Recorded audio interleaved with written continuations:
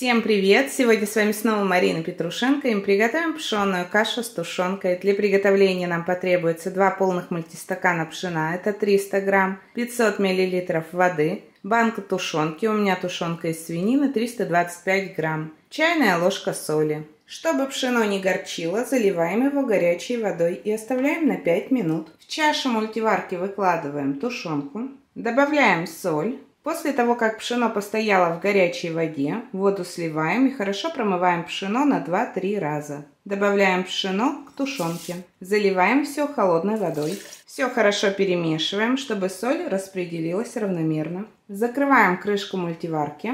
Готовить будем на режиме рис крупы 35 минут. Каша готова.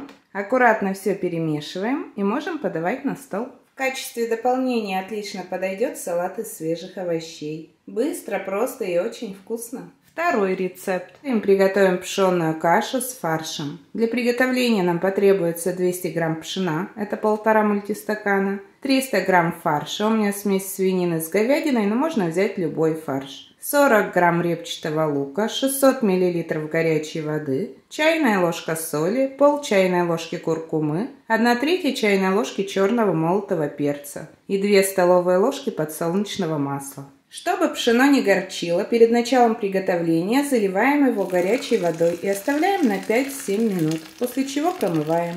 В чашу мультиварки наливаем масло, Готовить буду в мультиварке Red Solution Color Cook 88. Выбираем режим жарко. В этой мультиварке отсчет времени начнется, когда мультиварка нагреется. Масло нагрелось, отправляем обжариваться мелко порезанный лук и сразу фарш. Прошло 5 минут, отключаем режим жарко, добавляем соль и специи, промытое пшено, заливаем все горячей водой. Закрываем крышку мультиварки, перемешивать будем уже готовое блюдо. Готовить буду на режиме рис крупы 25 минут. Если в ваших мультиварках по умолчанию 35 минут, оставляете 35 минут. Давайте посмотрим, что получилось. Аккуратно все перемешиваем. Если вы кашу будете подавать с овощным салатом, то добавлять сливочное масло не надо. Если же просто вот так кашу с фаршем, лучше добавить еще сливочное масло в кашу. Каша получается очень сочной, вкусной, абсолютно не сухой. Обязательно попробуйте приготовить ее и вы.